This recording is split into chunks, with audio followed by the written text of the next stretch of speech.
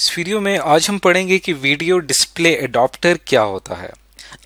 तो video display adapter दरअसल एक सर्किट बोर्ड है, जो क्या करता है कि हमारी स्क्रीन पे ग्राफिक्स को डिस्प्ले करने के लिए हम इसे इस्तेमाल करते हैं। इसे हम लगा देते हैं, अपने मदरबोर्ड से इसे अटैच करते हैं और इसकी मदद से हमारी स्क्रीन रेजोल्यूशन और हर पिक्सल में कितने नंबर ऑफ़ कलर्स जो होंगे वो मौजूद होंगे और इसके अलावा जो फ्रेम्स की स्पीड है, उसका यहाँ यहाँ से पता चलाया जा सकता है।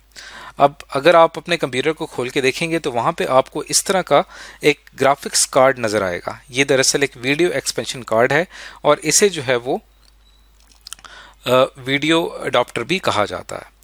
तो इसके अंदर हमारी डिफरेंट टाइप्स आती हैं जिसे हम आगे चल के पढ़ेंगे। इसका अगर आप इंटरनल स्ट्रक्चर देखें तो इसकी एक, अपनी एक वीडियो मेमोरी होती है।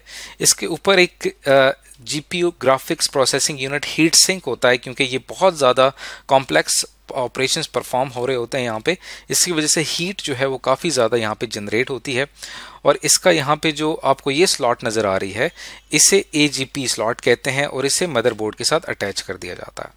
इसकी तीन मेन पोर्ट्स हैं जहाँ पे हम अपने कनेक्टर्स या अपनी आउटपुट डिवाइसेस इनके साथ कनेक्ट करते हैं और अपना आउटपुट हासिल करते हैं।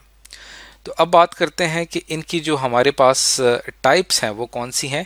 तो वीडियो ग्राफिक्स अडोप्टर जिसको हम ए बी कहते हैं इसकी बेसिकली तीन टाइप्स हैं। पहली टाइप्स जिसको हम कहते हैं वीडियो ग्राफिक्स अरे एक कहलाती है S V G A super video graphics अरे और एक कहलाती है एक्स जी ए यानी एक्सटेंडेड ग्राफिक्स अरे अब इन तीनों टाइप्स ऑफ़ कार्ड जो है वो डिपेंड करता है इनकी परफॉर्मेंस के ऊपर इनकी कैपेबिलिटी के ऊपर कि कितना जो है वो आ, कितना बेहतर इमेज जो है ये बना सकते हैं। अब इसकी जो पहली टाइप है जिसे वीडियो ग्राफिक्स अरे कहते हैं और नॉर्मली हमारे कंप्यूटर्स में इस्तेमाल होती है इसकी कुछ प्रॉपर्टीज़ देख लेते हैं। ये जो आपका वीडियो कार्ड है इसके अंदर टोटल 16 से 256 कलर्स जो है वो दरअसल आप देख सकते हैं अपनी स्क्रीन पे। डिपेंड करता है कि आप स्क्रीन रेजोल्यूशन कौन सी रख रहे हैं। अगर आपने अपने स्क्रीन रेजोल्यूशन रखी है 320 ट्वेंटी बाई टू पिक्सल की, यानी कि इसके अंदर इतने नंबर ऑफ़ पिक्सल्स हैं तो ये आपको 16 कलर्स दे सकता है।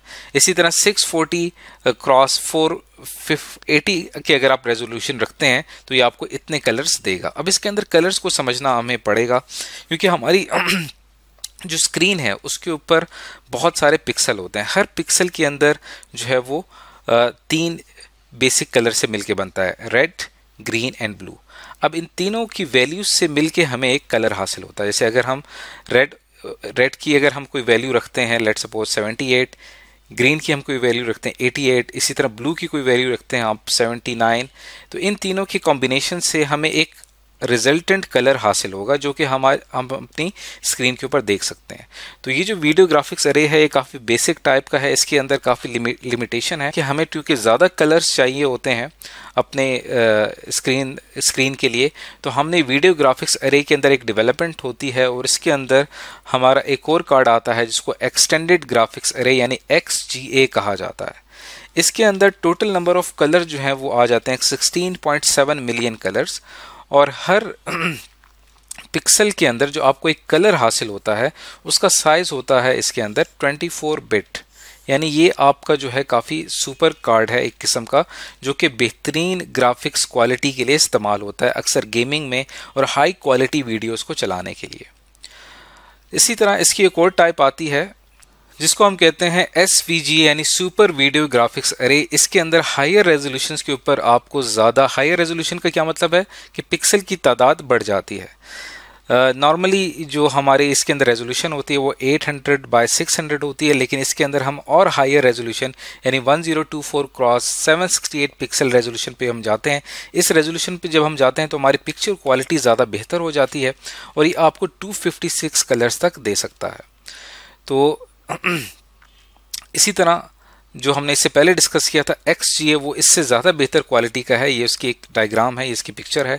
इसके अंदर आप देख सकते हैं कि इसे हम अपने मदरबोर्ड पे प्लेस कर देते हैं और ये काफ़ी ज़्यादा एक्सपेंसिव भी होता है। और ये जो पिक्चर हमने यहाँ पे डिस्प्ले की है, ये दरअसल सुपर वीडियो ग्राफिक्स अरे की पिक्चर है। तो इस वीडियो में आज हमने ये डिस्कस किया है कि ग्राफिक्स अडॉप्टर होता क्या है और उसकी कितनी टाइप्स होती हैं और वो टाइप्स जो हैं हमें कहाँ कहाँ पे फैसिलिटेट करती हैं हमारी स्क्रीन डिस्प्ले में।